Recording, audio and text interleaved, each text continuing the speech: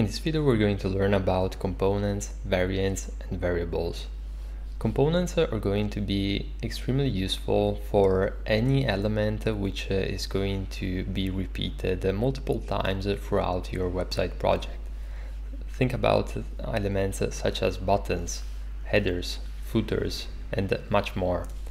Now we're going to create a component out of uh, this uh, button and uh, as you can see under the layers panel, this button is uh, simply a stack uh, with a text element. Now in order to create a component, uh, simply right click uh, and uh, you can see this create component call to action, which you can prompt also using this keyboard shortcut.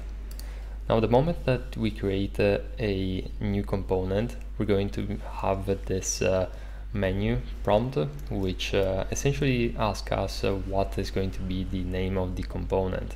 You can always uh, edit uh, this uh, name so we're simply going to stick uh, to this default to button and as you can see the moment that we clicked on create we are now being redirected to a dedicated components view. So this is going to be one step out of the home and uh, here we're going to have granular options uh, on uh, the components and uh, the variants.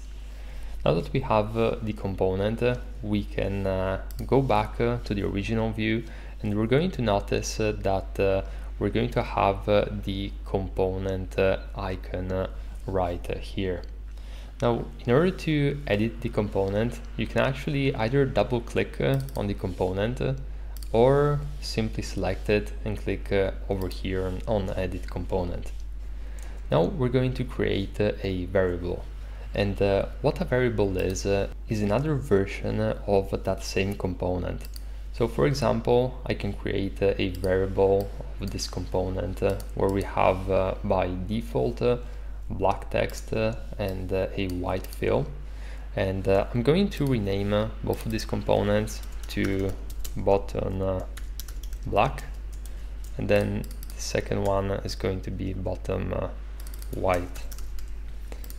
Now if you go back uh, on uh, the home now you're going to notice that we have uh, a new drop down under the component section which is going to allow us to toggle between the white and the black version of the component.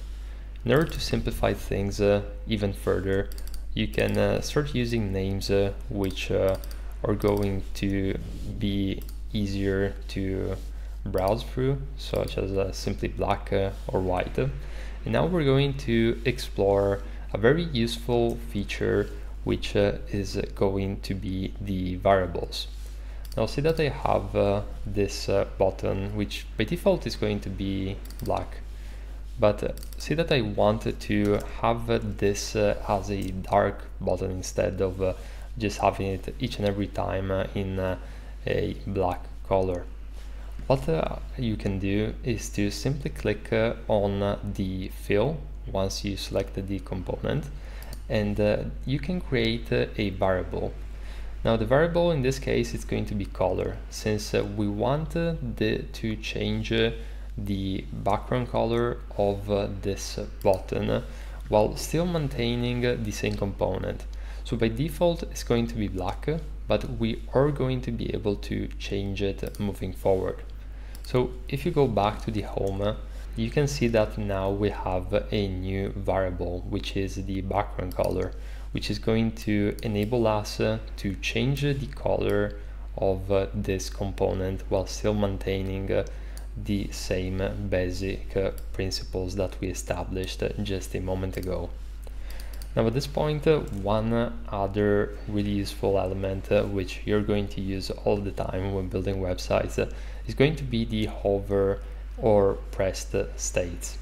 Now the hover state can be added by simply clicking on this section below.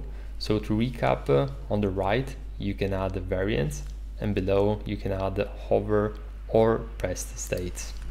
Now we're going to select hover and uh, at this point uh, you can see how we created this uh, second uh, component which is going to be the hover state and uh, we're simply going to for the sake of uh, illustration, we're going to change the rotation of this button just slightly and we're going to click on play and as you can see once I hover over this button we now have this uh, rotation effect.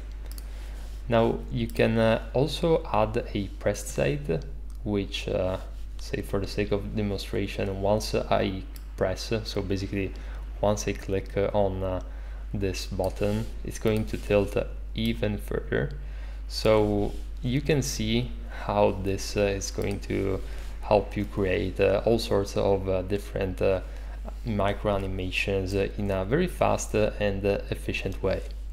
So this is pretty much it when it comes to components, variants, and variables in Framer.